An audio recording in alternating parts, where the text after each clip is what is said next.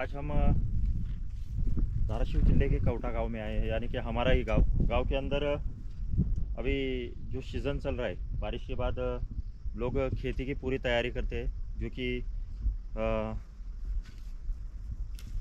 सब काम अभी बारिश से पहले निपटाने का काम चलता है। उसी समय जब ये यहाँ से एक सांप, बड़ा सा सांप यहाँ से निकला है, सीधा इस पत्थरों के अंदर चला गया है। कोबरा स्नेक है ऐसा इनका कहना है। हम देखेंगे, निकालेंगे इसको बाहर रेस्क्यू करेंगे। देख कौन सा सांप निकलता है वो भी देखेंगे। उसके बाद में और डिटेल्स में बात करेंगे, हमारे साथ लास्ट तक बने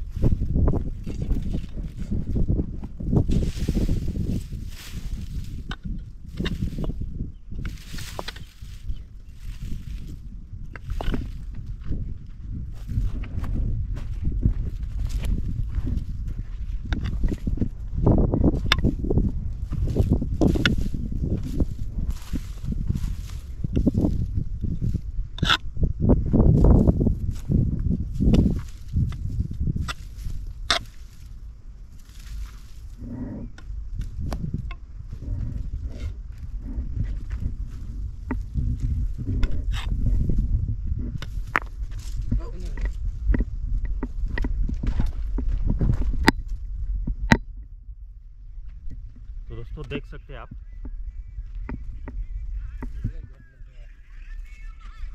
मारला नाही नहीं नहीं नहीं। Spectacled cobra hmm. जिसे भारतीय नाग के नाम से जाना जाता है। हाईली वेनमस होता है लेकिन धूप ज़्यादा है। इसकी वजह से ये ज़मीन के अंदर था शायद। लेकिन ये काम की वजह से ये बाहर निकला है सांप और अ, सीधा इसके, ज़मीन से बाहर आकर ये पत्थरों के बीच चला गया था।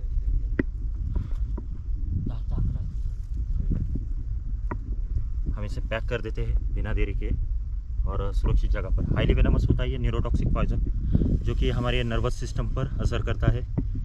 और ये काट ले तो आदमी की मृत्यु जल्द से जल्द हो जाती है और ऐसे में किसान खेतों के अंदर काम करते हैं। ज़्यादातर कोई सेफ्टी नहीं होती है। इसमें अगर बाइट कर ले तो इन्हें बचने का तरीका भी पता नहीं होता है और ऐसे में ही मौत हो जाती है।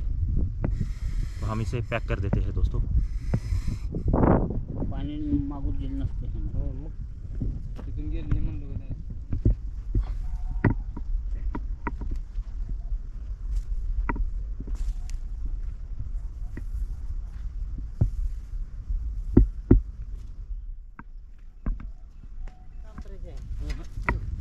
दोस्तों, इसे हमने पैक कर दिया है, सुरक्षित जगह पर छोड़ देंगे। मिलते हैं और एक नए वीडियो में नई जानकारी के साथ। आज के लिए बस इतना वीडियो पसंद आए तो लाइक ज़रूर कर देना, चैनल पर नए तो सब्सक्राइब करना ना बोलो दोस्तों। धन्यवाद।